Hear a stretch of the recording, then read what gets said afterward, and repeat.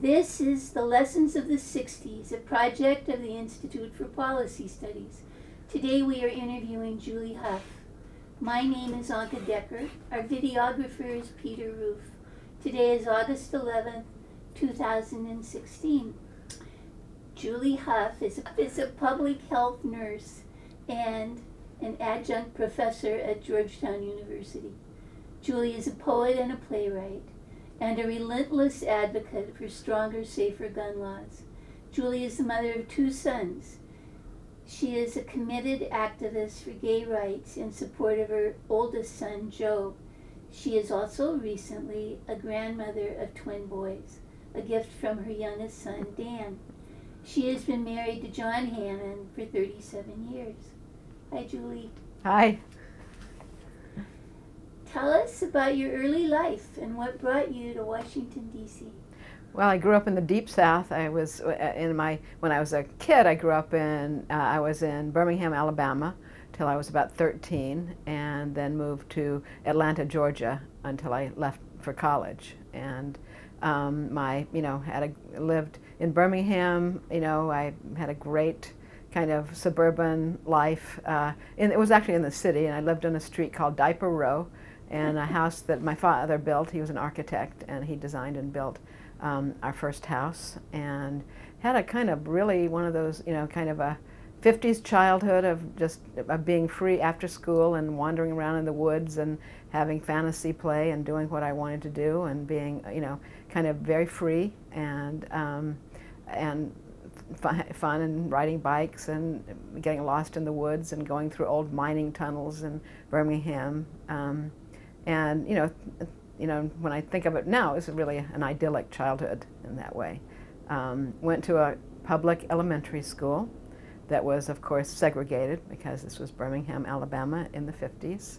Um, but except, but other than race, uh, very uh, ethnically and uh, socioeconomically diverse, so that we had um, very, you know, poor kids, middle class kids, and upper upper class kids, all the same grades in schools, and so it was a great, you know, that way, in that way it was a real melting pot, um, and very different from what I think of in schools today, elementary and high schools today, public schools anyway.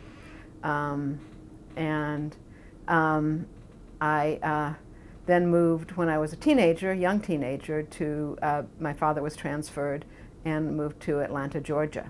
Um, and was pretty miserable for most of high school. Um, I think being a very bookish, intellectual um, child uh, and girl, uh, you know, once reaching adolescence made it much harder to uh, go to a public school where um, cheerleaders were the big, you know, where, where, there was a, you know, where the whole social class came, thing was about cheerleading and football, and where I was bored out of my mind. Um, so for a couple of years, and, and also the, just the transition from going from one uh, a fairly stable, um, interest, more interesting neighborhood to a, kind of an outer suburb of Atlanta, um, you know, was a shock.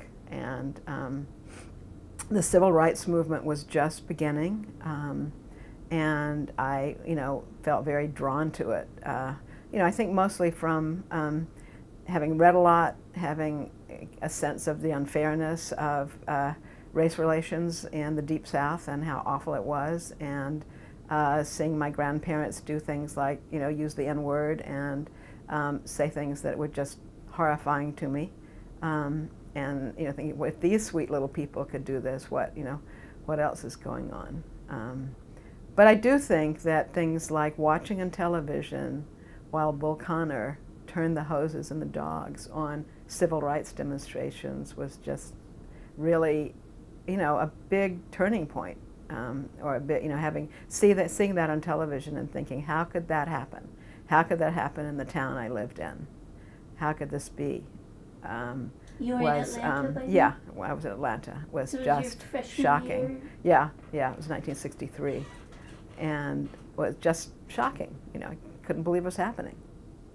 And so, um, you know, so that was kind of, so then I, you know, and of course lots was happening in both Birmingham and Atlanta. And, you know, I would sneak out of the house as I got a little bit older and could drive or, you know, and had more freedom. I would sneak out of the house to go to, um, you know, a couple of rallies, civil rights rallies, and um, go to uh, Hootenannies, which is kind of a, was a big hippie music festival of folk music that was kind of associated with the uh, civil rights movements at that point. And um, then I, in my junior year, was it junior year, I uh, campaigned for Johnson um, with the express purpose because I wanted to meet Peter, Paul, and Mary who were coming to a concert, but that, uh, who were coming to a concert. But um, that was kind of an eye-opening experience of being, you know, part of the political process.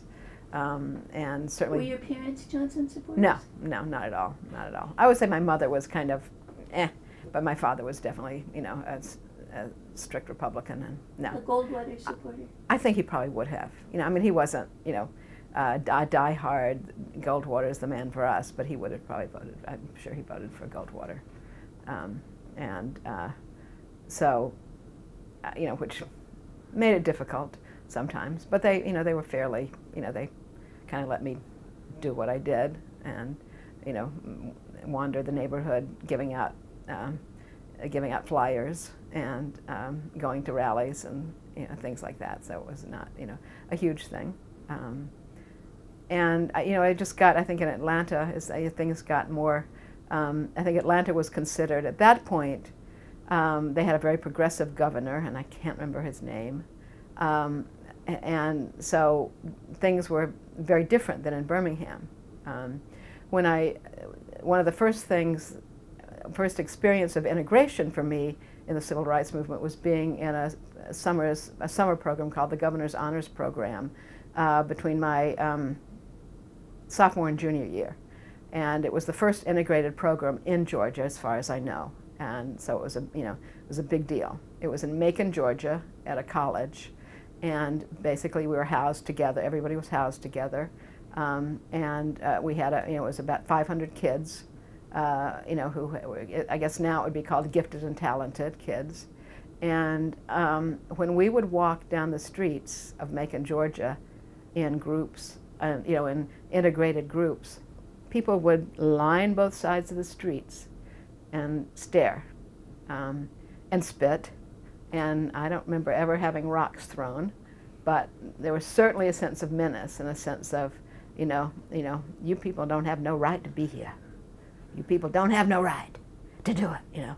And so it was scary. It was scary, you know. And um, and some of us, I think, really were into that. I mean, we're into proving that we could do that. We could walk down the street or the sidewalk in an integrated group, and this was our right, and this was to protect the African, you know, the African Americans, the black people with us.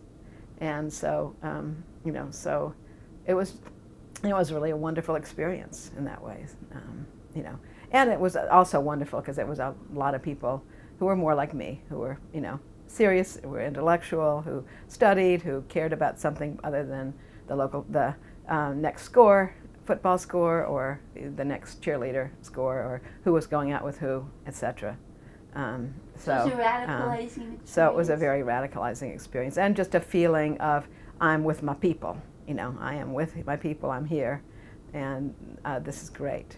Um, and when you got back so, to high school, um, I was very depressed.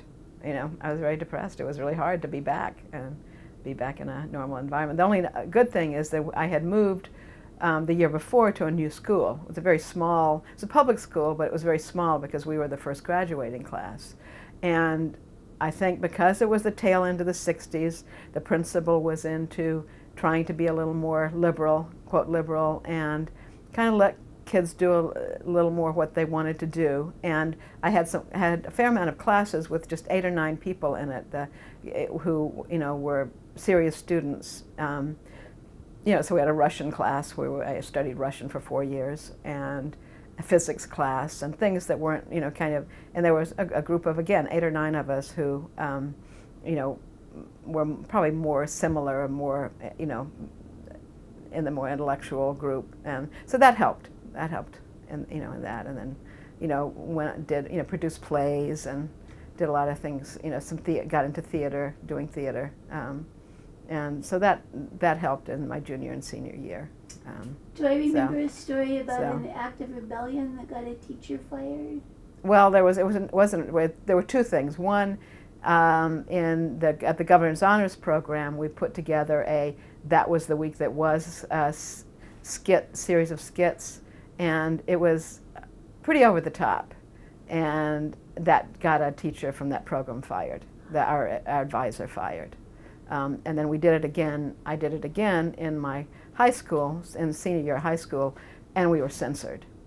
Um, and then in our in our um, graduation for graduation, one of the, we had we had one Jewish kid in the class. That was a very small graduating class. I think 125 people, and one of the things that we wanted was that the principal not say Jesus Christ in the baccalaureate prayer.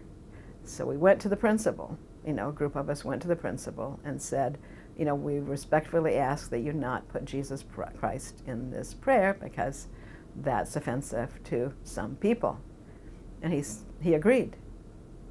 Um, and so we were at the baccalaureate, and he said, in the name of Jesus Christ. So a group of about five or six of us got up and walked out and left the baccalaureate. Um, and what did your so, parents say about that? Um, I don't think they were happy about it. Um, you know, they not not really happy about it. I think they, they're probably embarrassed. You know, I don't remember very much. You know, it wasn't graduation. It wasn't. You know, so I guess that was le- less important. If it had been graduation, I'm sure they'd been very upset. But um, you know, but we'd said that was what we were going to do. So you went we to uh, New and, College in right. Sarasota, Florida. Yes. Mm-hmm, mm-hmm. How did you come to choose that school?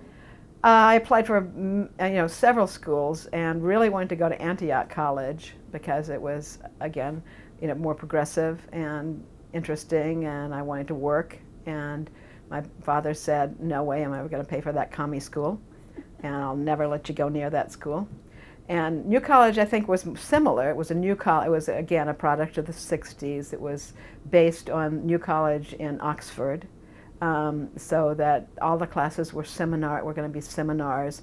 Arnold Toynbee was there for a couple of years when it first started, and other you know kind of stars. Um, it was all an integrated curriculum and very different from you know typical colleges. Um, and I kind of got recruited because I was a National Merit semifinalist, and they sent out a letter to all the National Merits finalists and semifinalists saying, you know, you are the cream of your crop, blah, blah, blah, come to our college that's brand new. And so we went to see it, and you know, my parents actually liked it because they were architects, and it, the dorms were designed by I.M. Pei, and it was in Florida. So Florida was, uh, uh, you know, they we had spent a lot of our summers in Florida because that's where my grandparents had a house, and they they were comfortable with me still being in the South, I think, and Florida seemed a lot safer than Ohio, and so you know, and they I got a decent scholarship, um, so that seemed okay. So I arrived on campus, wearing villager clothes, five or six pairs of white gloves, pearls, and arrived on campus and nobody was wearing underwear. so it was a total shock to me, you know, kind of being on a campus. A very small school, very, at that point, a very tiny school. I think uh, my class was not more than 100 and probably a lot of dropouts. And I was the third class, I was in the third class. Um, it was a class, it was a school that uh, you graduate in three years. So we were the third class um, to start there. Uh, so very small, very informal, very intense relationships with professors and other students, and um, you know, lots of uh, lots of intense discussions. Uh, some activism. I think there was. I don't know if it was because we were in the South, in in a in Florida, in kind of a bubble in Sarasota, or um, why particular, or, or so it was a sort of small campus, but there was not the kind of student activism going on, in, even though it was the time of a lot of student activism going on in larger campuses and, and bigger places. Um, so there was, you know, activism, but it was not anything. There was, I don't think, you know, there was not a lot going on. I mean, there was some, we had did some um, work in the community, uh, you know, in Sarasota, um, and some anti-war, uh, you know, protests.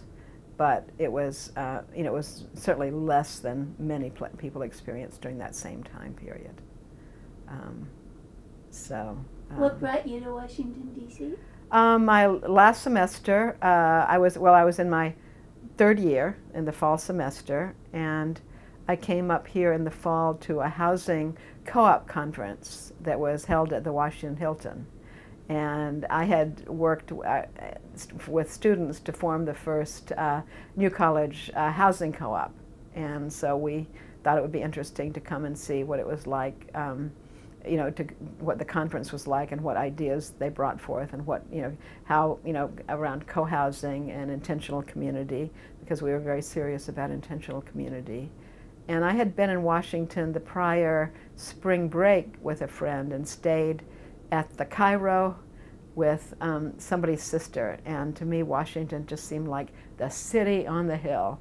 This, the sister was um, the mistress of a diplomat and um, worked on the hill and seemed to have this glamorous, wonderful life, you know, living in the Cairo and Dupont Circle and everything. It just seemed like really this was the place, you know, after little, you know, Sarasota, Florida, that was, um, you know, kind of a bubble of either people over 80 and us.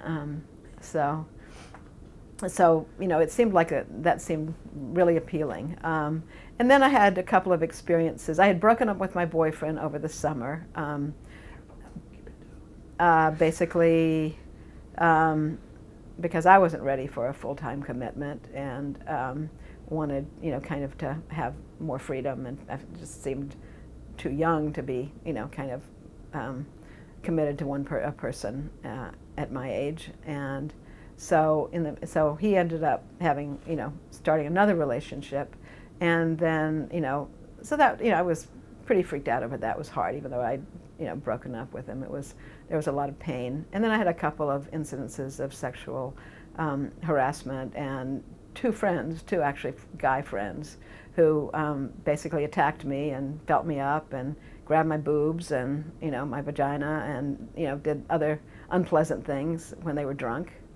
and um, you know and I you know it was so so I you know kind of and, and I never connected that until a few years ago actually until I, you know I started reading all the stuff about campus rape and campus sexual abuse so it just seemed that you know Connected so that with, with what happened. Ha yeah, right, yeah. exactly. And so I, um, you know, I was pretty clinically depressed for a few weeks, which I, you know, to the point of not being able to get out of bed and having, just having it be very difficult. And um, then at some point, it just seemed a good idea to do something else and leave. And you know, I'd met some people in at the, uh, from DC at the housing conference, including a boy, of course. There's always a boy in there. And um, so he said, Come to Washington. Come to Washington, and your life will be wonderful. and, you know, several other people, uh, other boys too. So I thought, well, hey, it couldn't be much worse than this at this point. And I took a leave of absence, which distressed my parents no end. And um, packed up and uh, came to Washington. I had a, basically all I had I, to finish, I had to finish a senior thesis and then I would have graduated. I had um, one semester left and, you know, writing a senior thesis and that was my goal is to come to Washington and, um, you know, be an activist and write my senior thesis. So, so that's how I got to Washington. And I ended up in a kind of a part of a group of houses that were kind of around intentional community on, as a house on S Street. Um, huge house that had once been, as I remember, a brothel and um, had been, you know, it was a, you know, that uh, two guys from this group bought for $25,000. Uh, I think there were about eight of us, eight or nine of us in the community. And um, we, uh, you know, we kind of worked out how we were going to live. Um, we shared everything. You know, shared rent, shared food, uh, shared clothes. I mean, it was kind of the extreme of intentional community. Um, I think at that point, everything, our living expenses were $25 a month. Um, and um, you know, so I kind of started getting involved in uh, working around the anti-war stuff. The Mobe was coming up. Things were, you know, the counter-inaugural was coming up, and there was a lot happening. And I, you know, got involved in, you know, in that and being an activist, an anti-war activist. Um, and then, uh, you know, then over and then into the women's movement. Um, over the your next- early women's liberation. in the women's Um? Um, oh, I think a lot of consciousness raising groups. Everybody went to consciousness raising groups. And we were doing a lot of activism around um, uh, imperialism. Uh, we, I, we, there was a group called Women's International Terrorist Conspiracy from Hell, Witch. And we dressed up in witch costumes and went around and um, chanted and, and uh, you know, chanted uh, things around around the United Fruit Company and around um, uh, international birth control issues and, So this is a street theater group, pardon a street theater yes group? yes guerrilla exactly theater. guerrilla theater really it was all Yeah. street and guerrilla theater yeah hmm hmm Sounds like fun. it was great. It was really fun.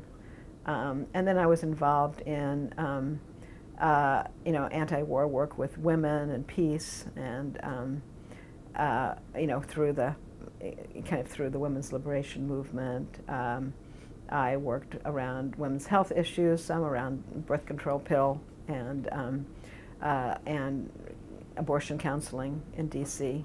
Um, and uh, did some, you know, and then worked with Off Our Backs, a newspaper, which is a feminist newspaper that was uh, started in the 60s. Um, I wrote a column um, called The Garbage and the Flowers, which was kind of a, a column about uh, resources, a resource column.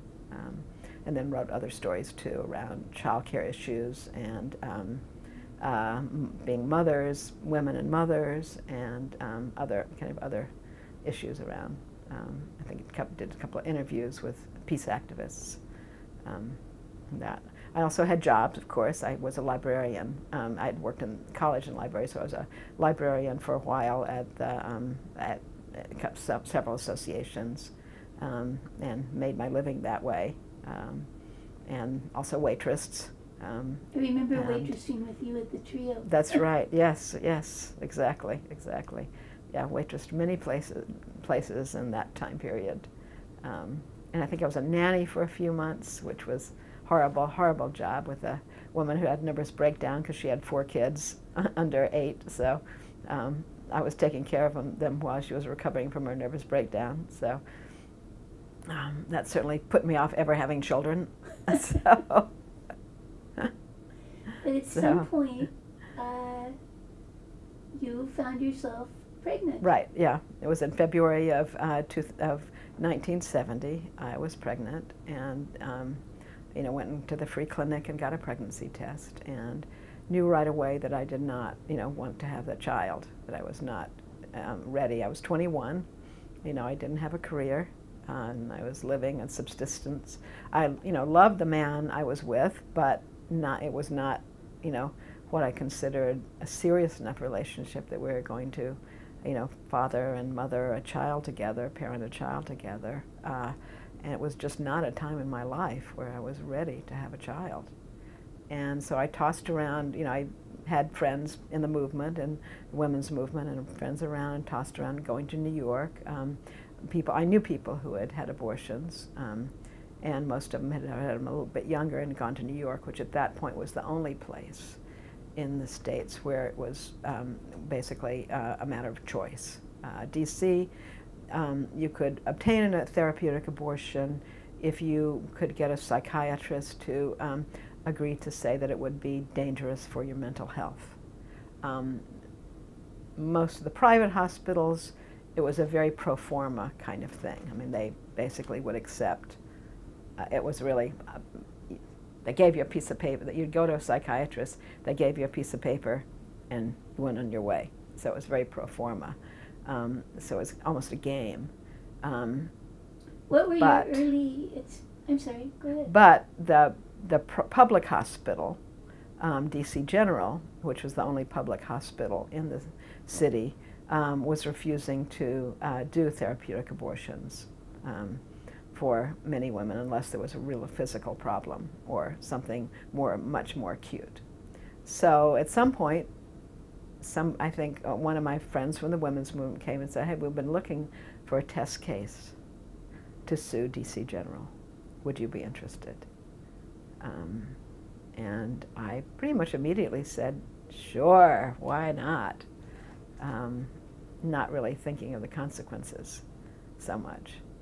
Um, and then I think the first, so really within two weeks, I had, I had to go to DC General and request an abortion and then be, um, uh, you know, then be turned down. Um, and that was, we knew that was going to happen. Uh, and, um, and at that point, I was probably six to eight weeks pregnant. Um, and of course, there was all this, you know, okay, well, think about it kind of stuff going on. And, you know, then, but one of so there were injunctions because you know, there's a time issue um, with, with therapeutic abortion. You really, you know, need to do it within the first 12 weeks. And the time, the clock was ticking. Um, so your attorneys took DC General to court. Right, exactly, and they basically um, for an, on an injunction, and um, they won, but DC General still refused to to do the abortion. Um, by that time, I'd gotten, I think, two letters, because I had I'd, I had a backup plan. Um, this was a class action, uh, so I was the first plaintiff in it. So, this, but it was a class action; it wasn't just me. Um, and so by that time, I had a backup plan because we knew that they were going to refuse. And um, so I had, uh, I, you know, had arranged an abortion at GW with a private physician, um, and being paid for by Medicaid. Um, I still had to get, GW required two letters from a psychiatrist um, from saying that, from two psychiatrists, yes, saying that I had a mental health um, So what problem. was that like? It was very humiliating. I mean, I you know I knew it was kind of a pro forma. I think one of the people, if I you know it's hard to remember. I think one of the psychiatrists was someone I knew, and could you know a woman, and I you know so I felt very comfortable, and she was very you know comfortable. The other guy didn't know it all, and I you know, you know, had to basically say I was going to kill myself unless I got an abortion, which, which was not true. Was which is not true. Um, and so that was not pleasant to do. You know, it was not something, you know, I thought it was ridiculous. Um, you know, I did not feel that way. Um, and I thought that I should have that choice. Uh, but I went through it. Um, and then, so we went through several court hearings. Uh, at one point, the judge said, Well, honey, why don't you, you know, why didn't you just call your parents and get them to help you out? And so I had to explain that. Um, and at uh, you know the, at some at, during the time I was pregnant, or it was might have been after. Um, they it was brought up in Congress at some point, and some some congressman said, "This young lady is a dupe of the ACLU, and you know she should not be here." Um, so that kind of thing, and you know, happened. And um, uh, at some point, the my partner's mother um, called me and asked if she could raise the child. And that was very hard, you know. I mean, I, you know, I felt for her. Um, she but it didn't.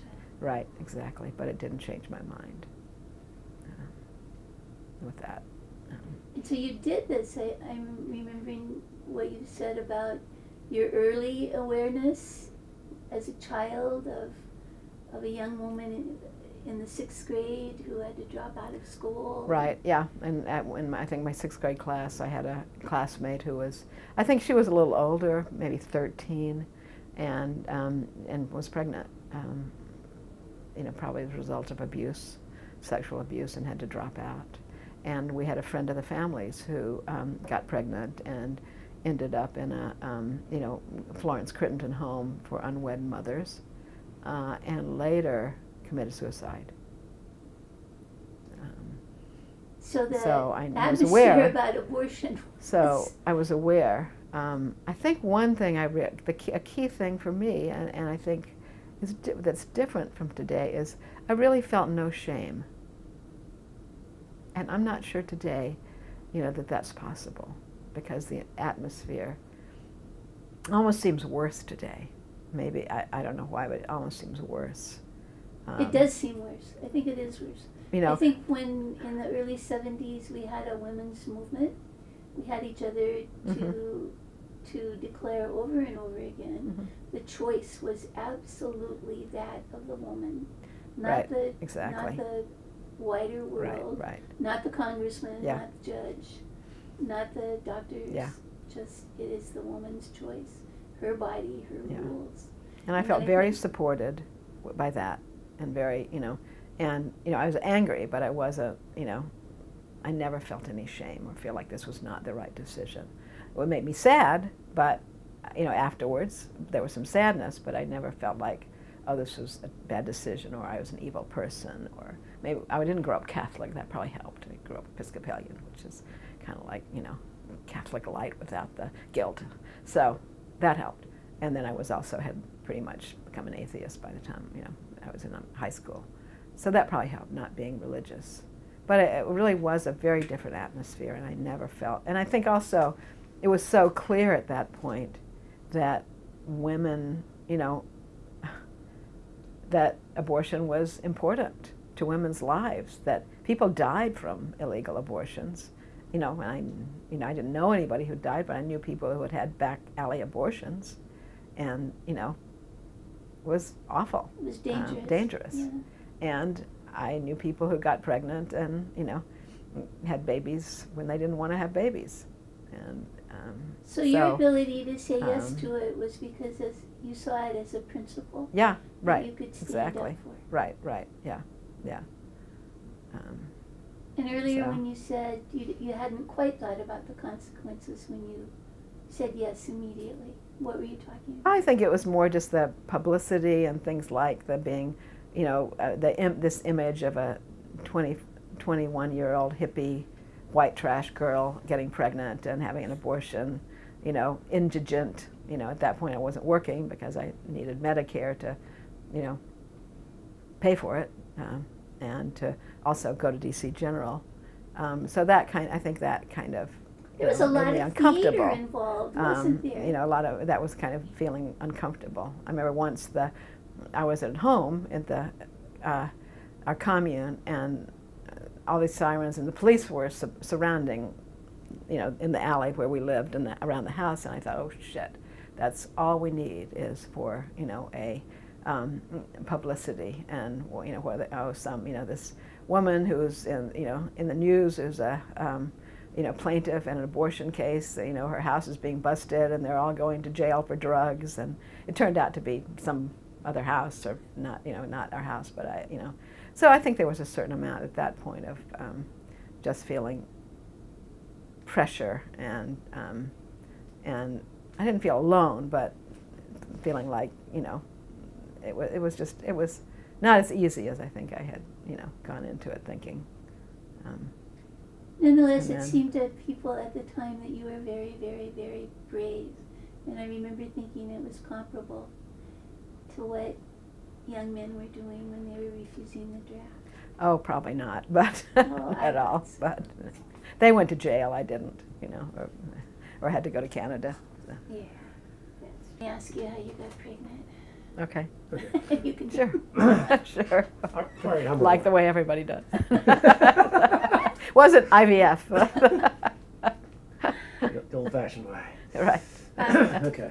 So I think just, I understand how you got pregnant, but can you explain the birth control situation at yeah. the time? I was using birth control. I was using birth control. I don't think I ever not used, did not use birth control until I wanted to get pregnant for real. I mean, ever in my life.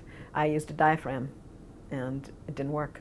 And you know, diaphragms are notorious. I, having been a family planning and a um, public health person for many years, I know what the odds are now. But um, yeah, it was a failure, contraceptive failure. Um, and every woman I knew, you know, almost lived in fear of that happening uh, at that point. You know, the, we have better better methods now, so I think people live much, less fear. But then where you know I couldn't I the, the pill was around and I had started having migraines and so I had to stop taking the pill.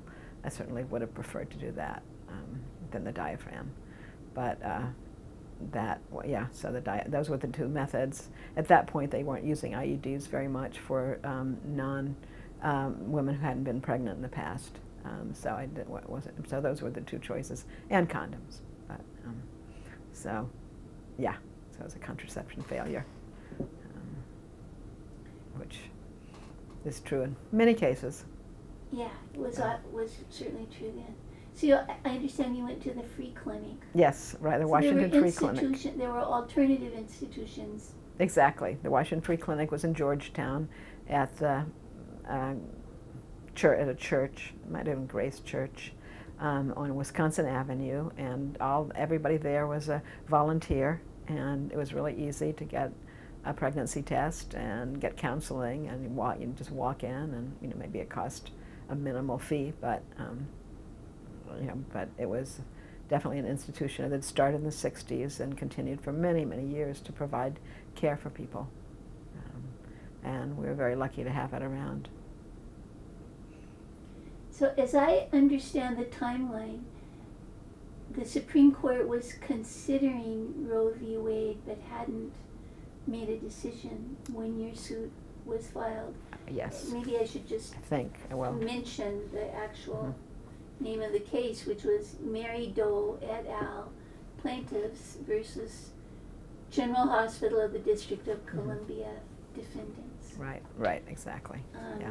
And so that was in March of 1970 that the judge ruled, mm-hmm, mm-hmm. and then there were a series that right. went for what for years, years, days? right? Uh, well, a series three or four of hearings, three or four days, right? exactly. Years yeah. until and then the years Supreme until the fine. Well, no, years until the final case came. Basically, was held for was uh, was through the it went through the appeal systems. Um, so it was not until 1974 that the case was finished. And so. this um, wonderful poster from the Washington right. Post from Wednesday, April 9th, Ninth, 1974. April 10th, 1974. Yep, yep. Um, City Um, Hospital opens policy on abortion. Right, right. So that was, uh, that was something people brought to a celebration. Right, a surprise celebration. Um, You were surprised? yes, Yeah? right. I had no idea. Nice. I mean, I it, was- I think it, it was after um, uh, April 4th that it happened, but a friend of mine must have blown it up and brought it to a celebration, and you know, we probably drank champagne and toasted the fact that it finally, you know, four years later, it was settled. Um, I mean, I think they had been doing it even before then. I think they'd been doing abortions before then, but I think this was the final, the end of the case. So, you know, and my attorneys called me too, and I think let me know what was going on after that. I think after the Post article came out.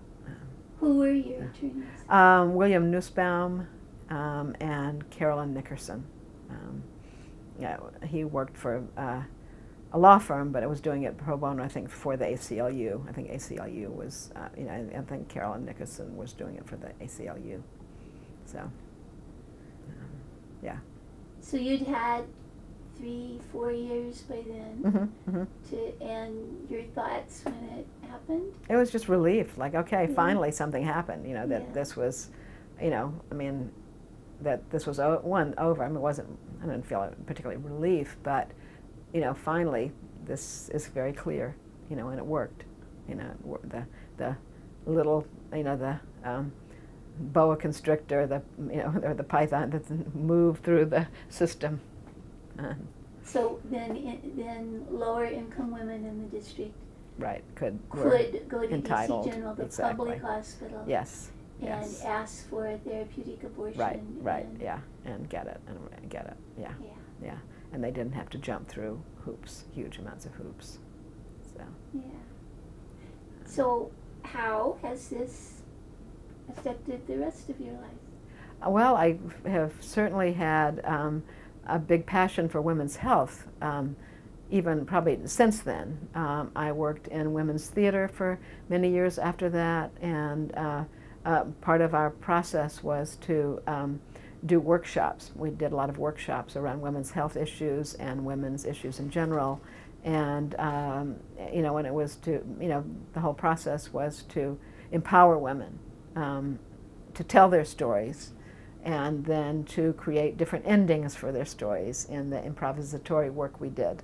And we also performed all over the country um, at various times, and this is in the early 70s.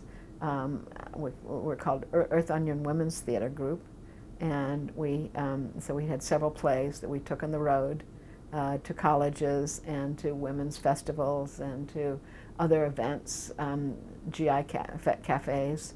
Um, and uh, and certainly part of that for me was, you know, some of the issues around women's health and you know the issues of rape and um, uh, you know contraception, pregnancy, you know, uh, motherhood, all those kinds of issues came up in, um, in, you know in the stories we told. So that was really important. Um, so for a few years, I was, you know, I was involved in the arts. I was, I ran a poetry magazine on tape. I was the managing editor for a poetry ma a magazine on tape. Black Box? Black Box Yeah. magazine, and then I worked as an activist in the with the ACLU prison project, um, working around prisoners and civil rights. And then at some point decided that one, I wanted a, you know, kind of stable profession. Um, at that point, I hadn't finished my degree and I wanted a stable profession and wanted to work in women's health. And so I went to nursing school um, and uh, at Catholic University and got my degree in nursing, um, kind of concomitant with um, getting married, uh, getting pregnant with my first child, um, buying my first apartment. Uh, getting my first nursing job and, of the tenant and being on the board of right exactly the, board apartment. the apartment um, so all that happened about six months um, and uh, so then I worked mostly in women's health for the next put women's health and public health for the next um, 30 years 30 something years Um, I um, worked in doing um, a lot of maternity care uh, home visits I wrote a um, childbirth manual for the um, U.S. Army and uh, military through the Red Cross, and then toured in Europe to do the trainings for, um, you know, for putting out the program.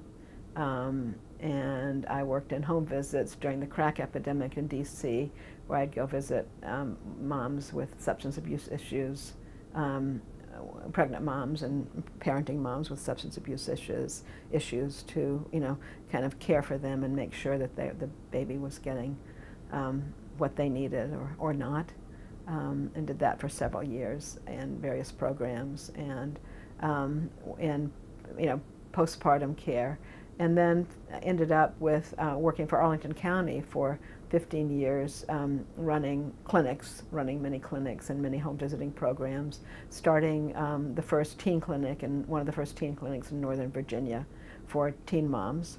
Um, so really started that and got that going. And then an innovative program of care for, um, uh, you know, for, uh, prenatal, for postnatal women, for women postpartum, where women and the babies got kind of their postnatal visits together at the same time and got all the, that they needed in one visit instead of having to come for two or three separate visits.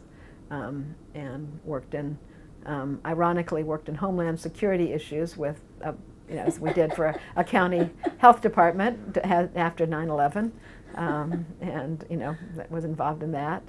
Um, and one nice thing with uh, working for Arlington is they let me be the resident playwright and um, director, so I would um, create plays and um, performances for various kind of um, kind of uh, um, development. Uh, you know, if there was there were issues of, for education around tech issues or education around you know something that was going on, new program coming in or new that. So I would I developed some musicals and some radio plays and various things. So that was lovely having a you know kind of a very informal role as a playwright and director in a public health department of a county a county you know so that was fun so i did that for you know 15 years and then uh, retired and had fun for a couple of years and then went back te- to teaching at um, georgetown In the uh, nursing school. in the yeah. nursing school in public health yeah Uh-huh.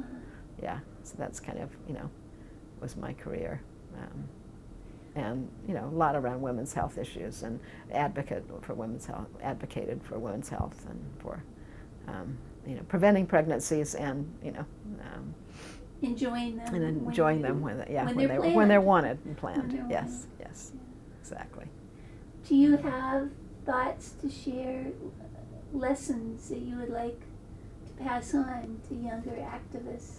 I think that you know the most important things, and it's wh- what I did throughout my career, and also in things like building a school for my children, a Quaker school, and um, various uh, community activism that I was involved in, is to find the partnerships, find the people, and the organizations that will work with you and work as units. I mean, I think that you know whatever I did, I think it, that was, and I tell that to my students. I talk to my students a lot about that. Find the key people and find the key organizations and um, and you know wherever you are and work together and work as I, I think that's probably the most important thing and it's har- I think it's harder and harder you know we're more atomized and every grant you write I mean I still write grants for various things. Every grant you write talks about you have to have partnerships you know you have to work together and uh, but it's I think it's increasingly harder as the money has gotten tighter and uh, um, you know you know the pie gets smaller and you're trying to divide it more and more chop it up into more and more ways. Uh, but i think that to me you know whether it was organizing a housing co-op or um, developing a school um, or you know a babysitting co-op or whatever is kind of finding whatever partnerships and community you can and to me that's been kind of something that the thing that's run through my life is um, is community and partnerships, and that I try to tell my children this is really important, you know, in your life, you know, find it wherever you can, um, in whatever way you can. I think, um, I think it's really important. And you've done a remarkable And, job of um, it. I think, you know, it's just been, you know, very, uh, you know, a big thing in my life, and I, you know, that's kept me going. So, All right. Thank you, Julie. sure, thank you. Thank you, Pete. Thank you. Yep. Anything Fine. Oh, one thing I hadn't brought was some of the things Right. I did after, um, Okay, go you for know, it. sure. After this was I'd forgotten I was pretty much I think about nine months later I went to the Venceremos Brigade, which was a great, um, which was a program in Cuba where you cut sugar cane. We were we, it was a group of about a hundred of us who were selected, and we cut sugar cane for six weeks in Cuba. And then toured the island for two weeks, and it was kind of a friendship organization. Very, um, you know, it was illegal to travel to Cuba, so we flew from, I think we flew to Mexico, and then came back on a freighter to Canada to get there, you know, back and forth. And it was a wonderful experience. You know, it was really incredible experience, and I think also just seeing both what happened, you know, what the medical system was like and the educational system, and seeing that things, you know, were a very different kind of uh, uh, way of living, and seeing the, also the poverty and the that people could live with, you know, not a lot was. Um, that was really a great experience and something that you know again I, it's you know kind of continued to you know resonate in various ways so You speak Um, Spanish now. yeah hmm hmm yeah which I learned kind of some in, in Cuban and then some also working with clients because I've worked with you know people mostly Central American folks for my whole career so and that was just yeah but it was a wonderful experience and um, And thinking and thinking about this, it's like you guys did a lot of a lot of activism, did a lot, made a lot of goals and that kind of stuff. But we look at things today, like Ferguson and the sexual assaults on the campuses, and we haven't gotten very far. And it's like, what what what can be done to keep the fight going? I think we just live. Our world is so much more complex these days that it makes it much harder. Um, you know, I've talked a lot. Of, my son and I talk all the time. He's a quote, quote professional collectivist, which is a nasty word. Basically, we don't we don't really want to say that, but basically, he works with social media in um, in a international organization. Um, and where they, you know, there's a lot of, uh, you know, click this to sign this petition, that kind of thing, and they get hits and they do this. And he says, Mom, it's kind of like being in a um, advertising agency, only you're advertising good things. So, you know, he has, he's, you know, there's, it's great, but it you know where do you go from there? And I think he's been successful at thinking uh, further about where you go and what you know what there else is to do. Um, I'm must say, having participated with Democracy Spring this um, this year, which is an organization focused on campaign finance reform and voters' rights, I've been very um, just mo motivated and ad ad admire these young activists who, who are working with that tremendously. I mean, they you know they're just uh, they're great. You know, we had a thousand people were arrested at the Capitol this spring. Um, nobody knew about it because it's really difficult to get through the screed of media. Um, they had, you know, basically they had good media themselves. They hired big publicists. They, you know, they did everything they could have done. But would you see it in the New York Times, little tiny piece, Washington Post, little tiny piece, um, national news? No, we haven't had this many people arrested in the White House, uh, arrested in the Capitol since the 60s or 70s. This was like a big thing. And, you know, what does it take to get, you know, the kind of coverage? I mean, part of it was, you know, at least the anti-war movement, people's lives were on the, really on the line, many people's lives. And uh, with the draft, and I think that was a big, you know, a big part of it. And what, a, you know, it's not the same, you know. campaign finance reform is a, a, little, definitely a more abstract kind of, um, you know, thing. But they managed to make it real. I think they managed to really make it real in, in the in what they send out and what they did. But it's, I think that was the thing with the war, and same with the civil rights movement. People, you know, people's lives, you know, people had had enough, and um, and you know, being totally oppressed and I think I don't know. You know, I don't know what will. You know, I don't think that's and that's kind of to me what Black Lives Matter comes out of this. You know, kind of just okay, what do we do? Where does where do we go from there? And I think just I think there are so many talent, incredibly more talented and um, uh, you know talented and wonderful young people. You know, who keep coming up and doing things. Um, I, I guess part of me hopes that they some of them will run for office you know that you know we'll keep getting more people. That's what we need. Bernie sanders needs to basically say okay get in your school boards. You know get in your um, you know figure out how to get at the lower level and move up. It's hard because of the funding and that again I, I think that's where campaign finance reform comes in you know. I mean the tea party did it because they had huge amounts of gobs of corporate money from the koch brothers. Um, but at some point you know if we can do something about that or maybe, I don't know, maybe us lefty baby boomers have to throw money at them. Um, but again, I think, you know, whatever we can do to encourage all this positive, incredible energy from young people is really important. You were arrested during Democracy Spring. Yeah, right, right, yes, yes. And how was it? Was. Um, it was, as I told people, it was arrest light. I mean, it's like, you know, they, these Capitol Police are the most professional, and, you know, they're like, do you have enough water? and um, are you okay? And just be, sit down, it's very hot, so be careful.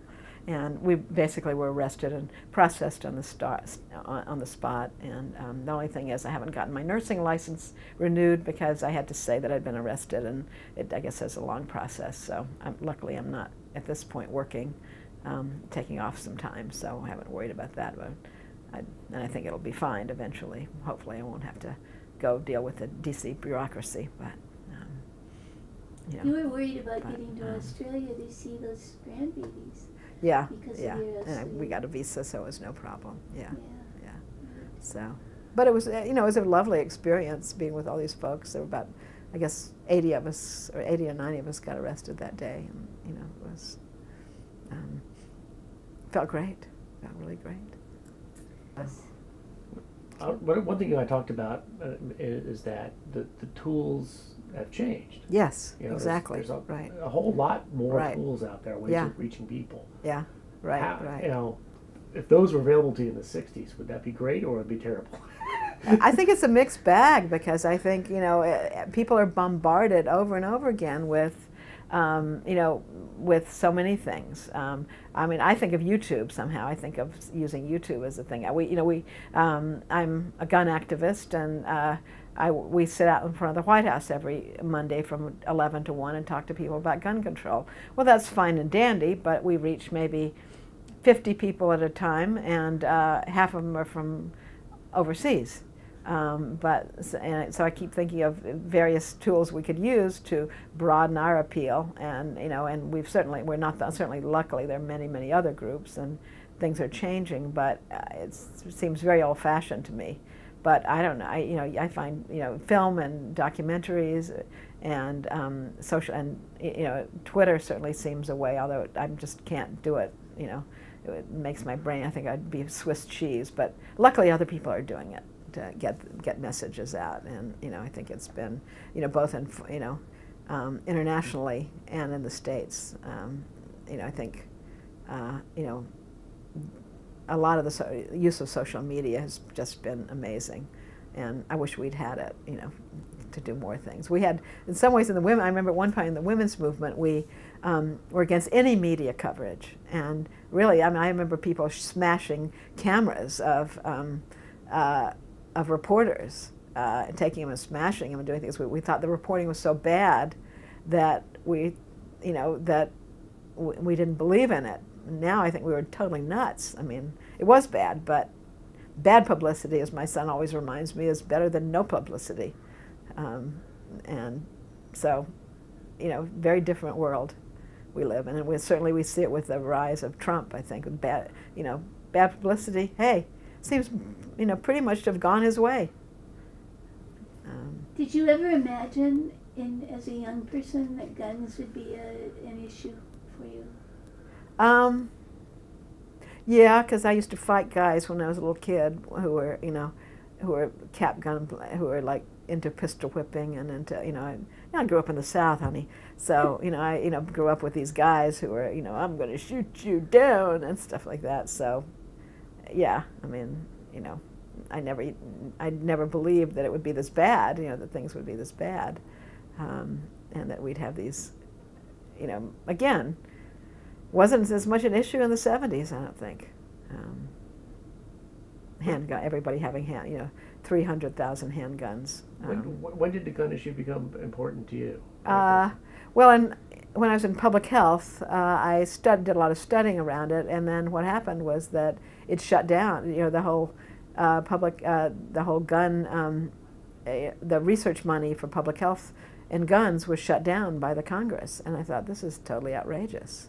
And that was, I think, when after that I was on the streets, and I was in the streets of D.C. during the crack epidemic, and I would literally jump into my car when the police started chasing people. You know, the the druggies would have guns, the police would have guns, they'd be running around, you know, in, in alleys. And, you know, I've been mugged a few times, um, you know, lived in D.C.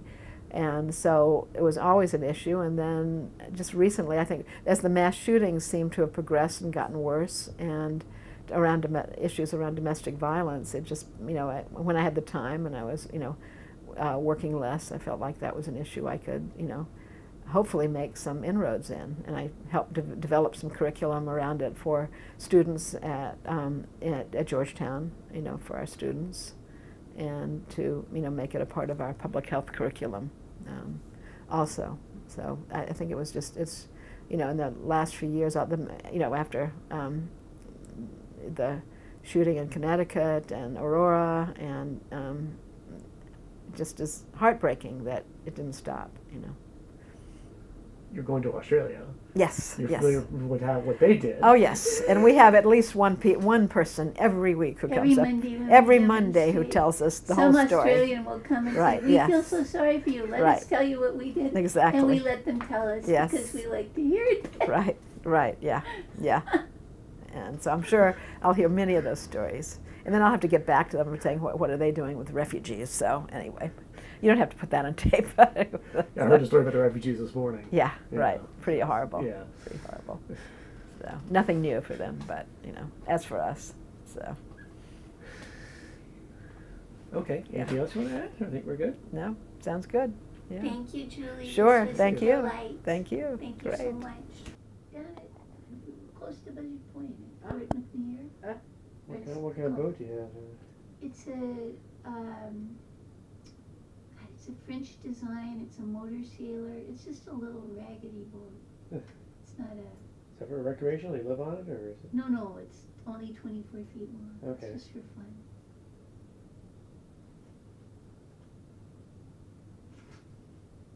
So, you- so you work in Arlington. I live in Arlington. Oh, do you? Yeah. I love Arlington. It's a great place. Great local government Yeah, for great many government. years. Very few governments. I, I mean, I went there and thought, oh, now I'll work here for five months. Yeah? like A year. I went, went as a, it was a, I had a grant, you know, it was a grant program. Uh-huh. And fifteen years later, I left. Can't believe it, but I wow. worked for a county government. It was the- probably the only county government I ever been able to work for for fifteen years. Yeah, And then it changed, I think it changed some Yeah. management changes, but uh, it was a great place to work for many things, many times. Must be tough in Arlington though, because you struggle against Richmond so many times. Yeah, it was very tough.